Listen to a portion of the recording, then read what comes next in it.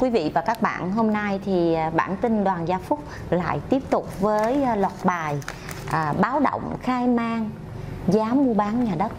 À, thưa quý vị và các bạn, nói chung thì cái việc mà giá ảo và à, giá thị trường thôi bây giờ tôi sử dụng cái từ là giá thị trường và giá ghi trong um, à, giấy tờ công chứng là một cái vấn đề mà chúng ta không phải là một ngày một bữa có thể à, tự có thể điều chỉnh được.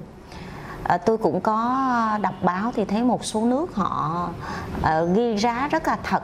Tuy nhiên rằng là ở Việt Nam đó là cái à, thói quen. Thì à, nói thì không phải là một ngày một bữa có thể à, có thể thay đổi được cái tình trạng thực tế.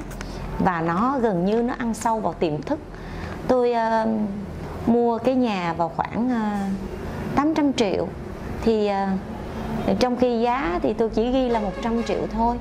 À, tôi ghi cái nhà là mua cái nhà là 3 tỷ nhưng thực tế là tôi nói thôi giao dịch là 500 triệu là đủ.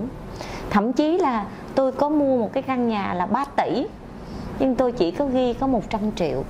Và bên bán thì thì họ nói nói chung là làm sao mà thuận tiện nhất? Các bên thỏa thuận là phí về lệ phí và phí công chứng thì à, giao cho văn phòng luật sư hoặc là giao cho một cái dịch vụ nhà đất nào đó. Sau đó thì họ tự bán rồi cũng không có quan tâm gì nhiều đến cái phần mà tại vì nếu như trong trường hợp mà chúng ta bán với một cái à, phí làm mà mới các cái giá thỏa thuận là 100 triệu đi. Thì à, hiện tại thì à, có lệ phí trước bạ là 0,5% và 2% thuế thu nhập cá nhân. Thì tính ra là nó cũng chỉ là hai triệu rưỡi thôi. Nhưng thực tế là cái giá rất là cao quý vị và các bạn. Giá có thể là vài tỷ. À, thôi thì hôm nay tôi à, sẽ đọc báo pháp luật thành phố Hồ Chí Minh ngày 30 tháng 7 năm 2018 à, tôi à, đọc cái à, bài báo của phóng viên tên là Kim Phụng. Cái phần um, báo nó cũng hơi dài cho nên tôi tách lành thành hai phần. Tùy theo cái um, bài báo tôi sẽ dừng lại để mà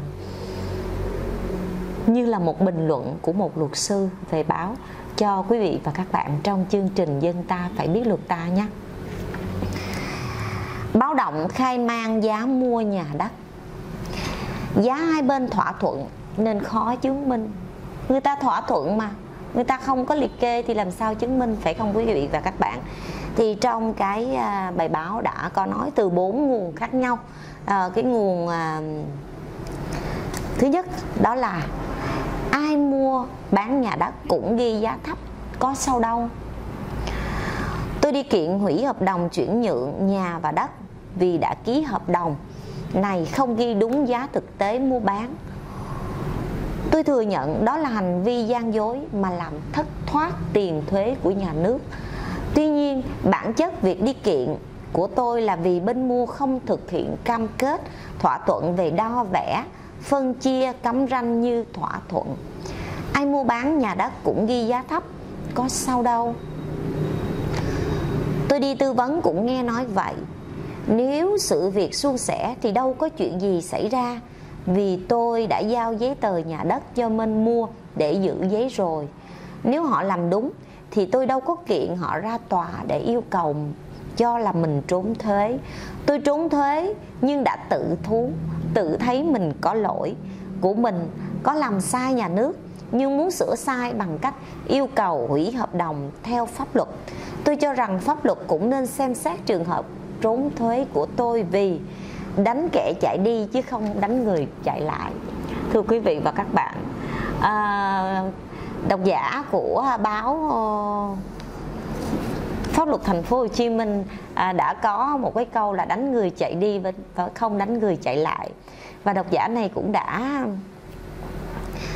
gửi đến à, báo pháp luật ừ, thành phố Hồ Chí Minh và cho rằng là đây là hộ trong trường hợp kiện tòa.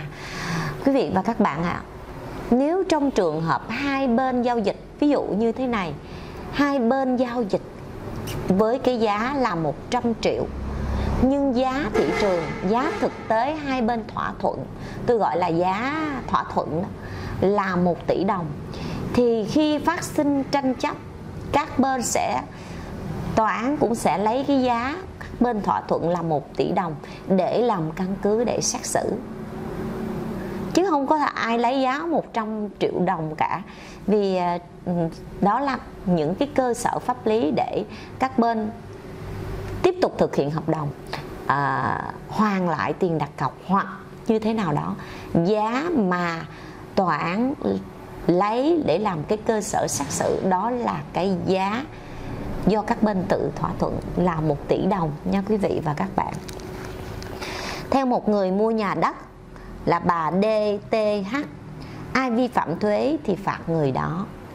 Giá chuyển nhượng thực tế là 7,8 tỷ đồng Nhưng bên bán đề nghị tôi ghi thấp xuống còn 1,2 tỷ đồng Để họ nộp thuế thu nhập cá nhân ít lại. Tôi thấy ghi vậy tôi cũng không có bị thiệt hại gì Bởi lẽ tôi chỉ nộp thuế trước bạ 0,5% Theo giá nhà nước nên không bị ảnh hưởng giá trong hợp đồng ghi. Trốn thuế là do bên bán, trốn chứ tôi không liên quan. Và tôi cũng đã nộp đầy đủ các nghĩa vụ tài chính với nhà nước. Ngoài ra tôi cũng có không có vi phạm thỏa thuận với bên bán. Ai vi phạm thuế thì phạt người đó, chứ đừng vì lý do này mà đi hủy hợp đồng chuyển nhượng nhà đất mà tôi được công chứng thưa quý vị và các bạn thì à, thực tế cho đến thời điểm hiện tại thì à, tôi cũng chưa thấy một trường hợp nào đó bị phạt vì à, vi phạm thuế đối với cái việc mà à, thuế à, à, thu nhập cá nhân hay là thuế à, trước bạ. Còn à, do các bên tự nguyện đến để khai lại thuế thì đó là một cái việc hoàn toàn khác. Trong cái à, bài báo này à, một cái độc giả bà DTH bà ở thành phố Hồ Chí Minh bà cho rằng giá thỏa thuận hai bên là 7,8 tỷ đồng. Tuy nhiên bà à, và bên bán thỏa thuận rằng các bên uh, ghi cái giá trên hợp đồng công chứng là 1,2 tỷ mà thôi.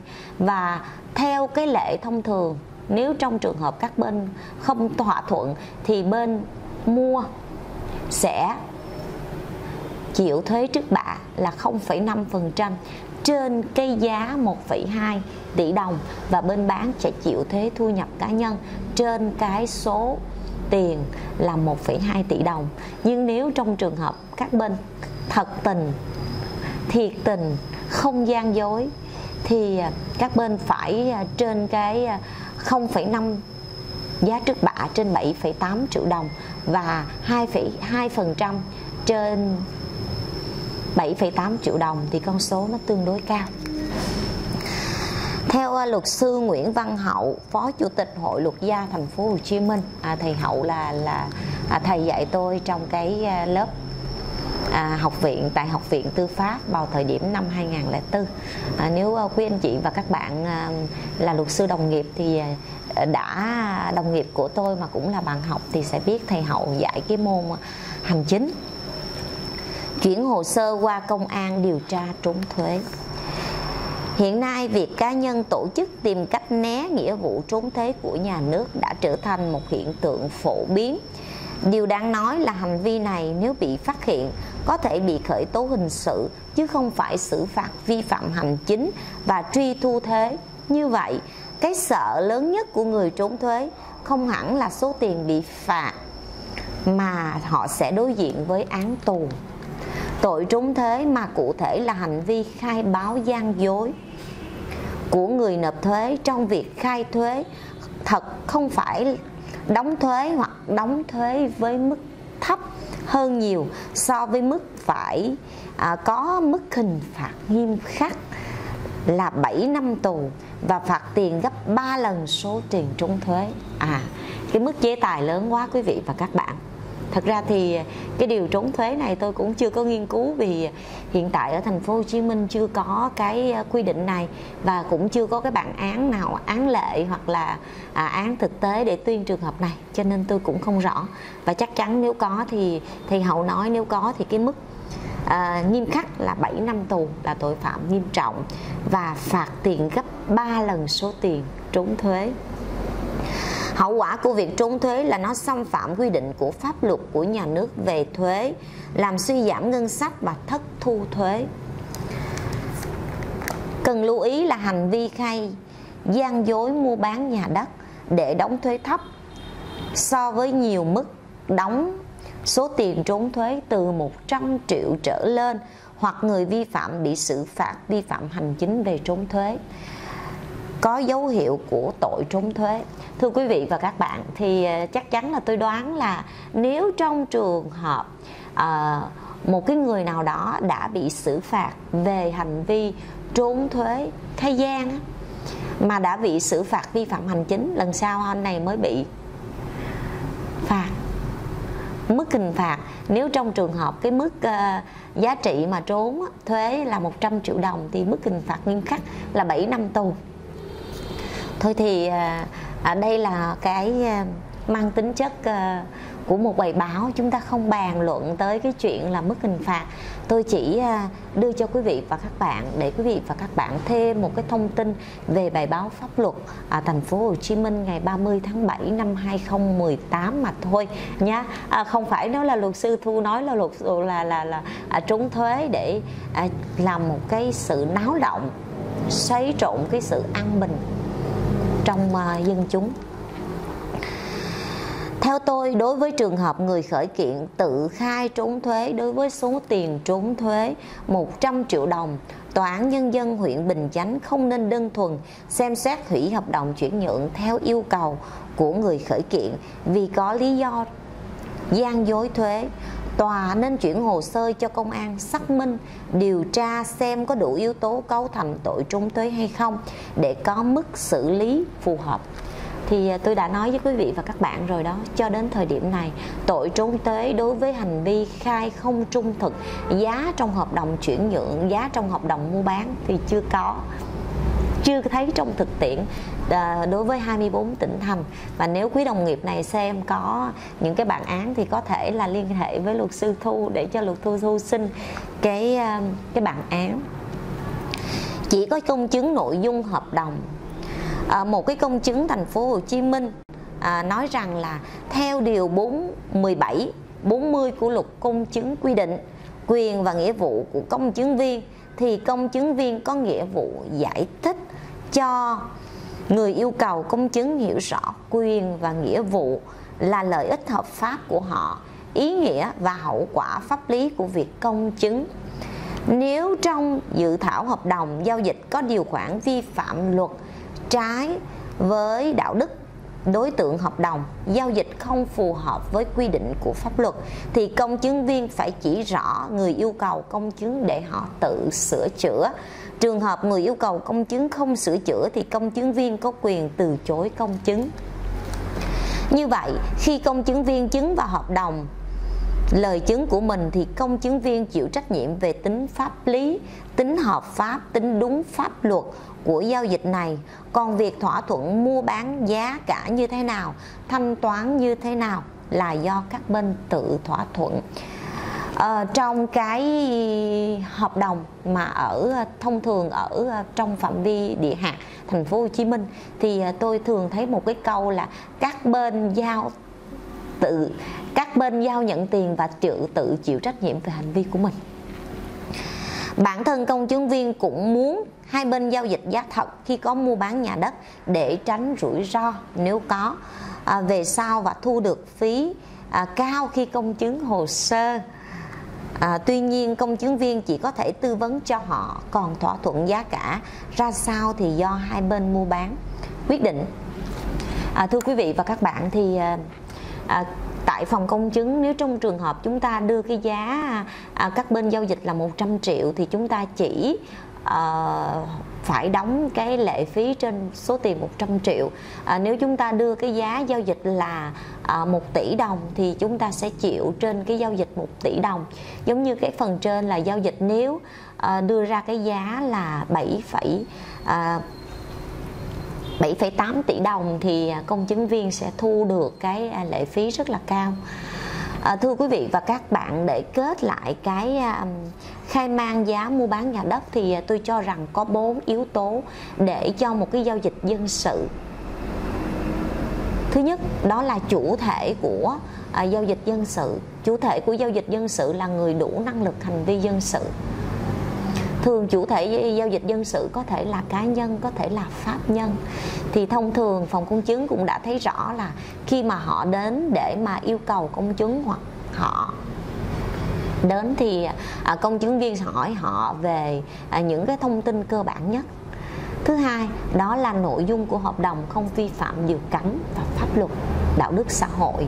Thì thông thường à, những cái giao dịch nhà đất thì à, đã có cái giấy chứng nhận quyền sử dụng đất với chứng nhận quyền sở hữu nhà và tài sản gắn liền với đất hoặc giấy chứng nhận sổ hồng sổ đỏ gì đó. Thì à, à, công chứng viên có nhiệm có bằng cái con mắt của chuyên nghiệp thì công chứng viên thấy rằng là à đối với cái hồ sơ này là giấy tờ thật và công chứng. Thêm nữa đó là à, hợp đồng phải tuân theo những cái quy định của pháp luật. Thì tôi nói rồi theo quy định của pháp luật thì đối với cái giao dịch bất động sản thì buộc lòng các bên phải có phải có cái gì quý vị biết không? Phải đủ phải uh, có những cái giấy tờ. Và bất động sản thì buộc lòng phải đến công chứng thưa quý vị và các bạn tôi nhớ để kết lại cái vấn đề này tôi tôi nhớ có một cái hồ sơ. Khi mà hồi đó tôi mua một miếng đất ở um, à, huyện bình ở tỉnh bình dương thì à, cái anh công chứng viên sau khi kiểm tra lại thì tôi cũng không nói tôi là luật sư nữa. Thì anh công chứng viên ảnh à, sau khi ảnh kiểm tra thông tin của tôi thì ảnh bảo rằng là chị mua nhà đất như vậy thì chị có biết là cái tình trạng nhà đất này hay không à, chị có đến xem hay không à, và à, về giao dịch tiền nông như thế nào? À, tôi mới cười tôi nói anh ạ à, tôi là luật sư thì chắc chắn cái khả năng về việc mua bán nhà đất thì tôi biết. Thôi thì đây cũng là lần đầu tiên mà tôi thấy được một công chứng viên à, tận tâm tận tụy vì cái nghề. À, thật ra thì các anh chị công chứng viên ở thành phố Hồ Chí Minh không phải là không có. Có một số vẫn hỏi nhưng do cái cái số lượng công chứng quá nhiều cho nên họ sẽ chỉ kiểm tra trên về mặt à, thông tin về ngăn chặn à, về à, à giấy tờ giả thật về à, những cái khác. À, thôi thì không dám nói về các anh chị công chứng viên vì mỗi người có cái tính chuyên nghiệp tôi không lớn sân. Thưa quý vị và các bạn bản tin đoàn gia phúc với mục đích uh, gửi cho quý vị và các bạn, vừa đọc cái bản tin, vừa bình luận cho quý vị và các bạn. Để quý vị và các bạn hiểu được rằng những quy định về pháp luật trong trường hợp này đối với giá ghi trong hợp đồng chuyển nhượng quyền sử dụng đất, quyền sở hữu nhà nói nôm na là giá ghi trong công chứng thì à, ngoài ra còn có một cái giấy à, giá do các bên tự thỏa thuận. Tuy nhiên, theo cái lời khuyên của luật sư ở trong chương trình dân ta phải biết luật ta thì chúng ta nên làm một cái hợp đồng tại phòng công chứng. Bên ngoài chúng ta sẽ có một cái giấy tay trong cái hợp đồng ghi là giá thỏa thuận do hai bên tự thỏa thuận. Để sau này nếu trong trường hợp có phát sinh những cái tranh chấp dù nhỏ nhất thì chúng ta bên mua, bên bán để có thể tự mình bảo vệ quyền và lợi ích hợp pháp của mình. Tránh những cái trường hợp mà hai bên mà vay tiền mà ký, chỉ ký hợp đồng công chứng thì sau này phần thiệt hại sẽ trở về phía người đi vay mà ký công chứng. Xin cảm ơn quý vị và các bạn đã lắng nghe.